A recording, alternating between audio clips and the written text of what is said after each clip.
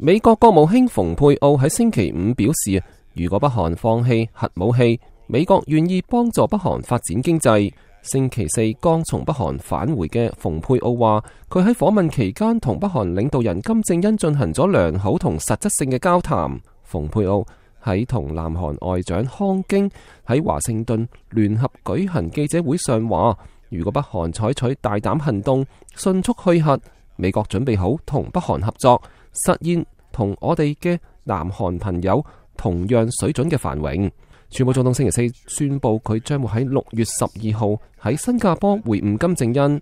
各方仍然对川普同金正恩讲嘅去核化系唔系一个意思，仍然有疑问。美国政府认为去核化意味住平壤销毁已经拥有嘅核武器。蓬佩奥喺记者会上话，去核化必须系彻底同埋可以验证嘅。呢位美国首席外交官话。我认为喺最终目标系乜嘢嘅问题上有住完全嘅共识，但系佢并冇讲细节。